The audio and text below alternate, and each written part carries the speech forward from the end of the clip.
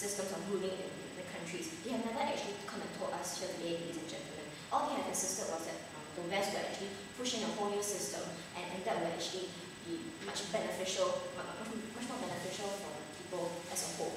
And, uh, and, and my first speaker has really disproved that because he has really said that First of all, if the, if the West is going to come in and push a whole new system and put a leader there to ensure that everything is going to run smoothly, it goes against the entire idea of democracy. But democracy is something that uh, where, the, where the people actually elect their, their government. Second of all, I'd like to ask, if, if, if the change is going to happen, to, uh, if the change towards democracy is going to happen when uh, you, you're going to inject an entire force of, uh, of, of this uh, internal democracy, then, then why are you actually uh, uh, pushing it pushing it into them when uh, when we said that democracy is something that's going to happen anyway. Every every single country will, will eventually take Yeah, baby steps. No, thank you, sir. Every single country will eventually take baby steps towards democracy, or or either they will have a whole new revamp, such as the Soviet Union, such as Yeah. China. No, thank you, sir. We, we, we say that every single country eventually will, will, generally uh, start going towards democracy because they realize that they do actually want rights. No one is going to be happy under a militant country, and they will eventually push for democracy. No, thank you, sir. And, and also, they, they, they became uh, insisted that there are long-term benefits. And taking the Iraq example, where um, where, where there are image boosts to the to, to America, and we say that and we say that is a complete ina- inaccurate uh, assumption that they have made. We think that we think that uh, the West and uh, in, this, in this instance America, the government image did not, did not actually um, get a boost, but instead it went all the way downhill, ladies and gentlemen. We don't think that uh, this, will actually benefit the West in any sense. And furthermore, they, they, they're also talking about how uh, in Iraq, once we have actually injected uh, internal democracy, um, people are actually having a better life. But we said no. We, we see that we see that people in Iraq actually being threatened to vote for a certain uh, for, for, for certain uh, party, and, and that there are um, threats going on for for the people on the ground. We say that all these are, fake democracy, and, and, and it's actually much worse than when the Taliban was in rule, and, and, and people were actually generally happier, even though even though they were they were under an oppressive rule, because basically they, they actually they actually were not being threatened and they were not being beaten up to, to vote for people, ladies and gentlemen. And, and also they, they, they, have come up to here and told us that they want human rights, they want they want I mean torture to stop and they want to you know ensure that the economy is, is, is going to get better. But we see that even even if we were to implement democracy into a country, we don't think that will actually actually right. happen even though even even uh, after after a long period of time. Let's let's look at India for example, ladies and gentlemen. We see that in India human rights and especially women's rights are not being respected. Torture is still going on for, for these women. And also the, the, the economy is in a, is, a- total slump. And before I move on, yes. You see, uh, India's system has moved on to a democracy. So why are you bringing up the human rights where it doesn't actually? Thank you, sir. Thank you. So you, you obviously do not know what's happening in India. In India, women are being are being tortured and and, uh, and being forced into marriages, and people are throwing acid at their faces if, if they refuse to obey their parents. We don't see women being respected at all. We don't think that th- th- this is even human rights all, ladies and ladies and gentlemen. And I think they have already proven the point that democracy doesn't actually bring about all the fantastic benefits that we actually see in the rest of democracy, ladies and gentlemen.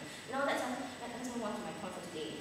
We, uh, I'm talking about how uh, every single country will eventually get to um, will, eventually reach democracy in time to come. And second of all, we don't think that uh, in, in the event that uh, that uh, there are threats and heavy threats uh, and very uh, that uh, force will be actually mandated and uh, put into place. Now, first of all, we think that uh, in, in every single system, as I already mentioned in the earlier speech, democracy will eventually occur. When, when look at China, where where people start to uh, go towards sit down, sir.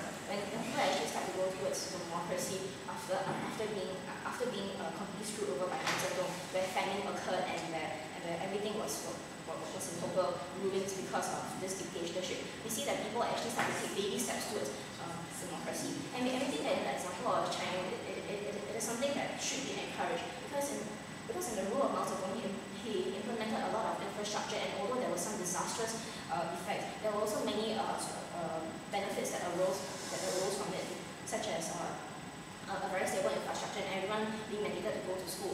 And, and we think that um, af- af- after which uh, the, the governments afterward and the leaders afterward actually came and, and put in place and started to open up China. And, and, and in that in that situation, we saw a lot of uh, benefits because of the, of the fact that there were in the first place infrastructure. And we think in the case of Vietnam, it, it is also uh, going towards that. And, and, and we think that uh, in Myanmar, once once all the troubles have started to settle down, we, we think that uh, people would actually start to fight for their rights because essentially no one actually likes to be tortured, no one likes to be threatened.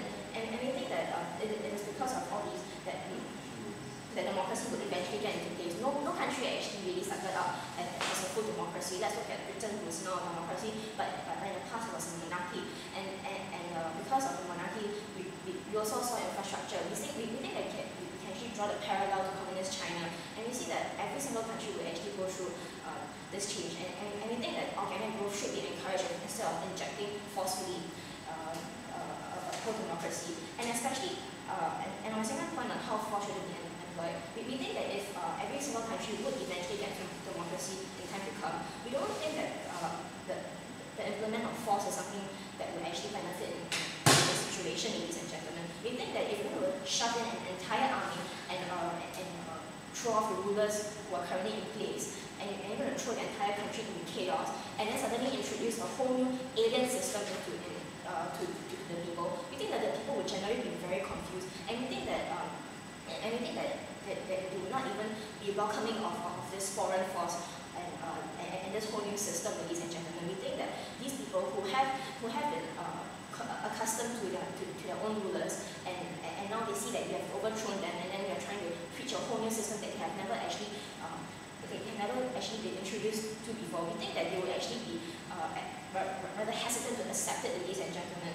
And, and we think that um, the, the entire progress of, of, of, of uh, throwing of, of introducing chaos and general war where people would, actually suffer casualties. We, we don't think that it is something that should be encouraged, ladies and gentlemen, because, because first of all, we, we, think that it's, uh, democracy will come along in time. So, so what we have uh, show you today, ladies and gentlemen, we have, we have showed you that um, we, uh, democracy is not something that is inherently moral and there's no reason to actually uh, put it in place when it's not going to solve any societal problem and it's not a magic cure for it for any country. And second of all, we think that goes against the entire idea of democracy and, and uh, it, it is ironic that you're going to try to implement that when it contradicts what you're trying to preach. And third of all, we think that every, every country will get to a democracy in time. And therefore, we don't think that uh, this whole system of force uh, should, should be implemented.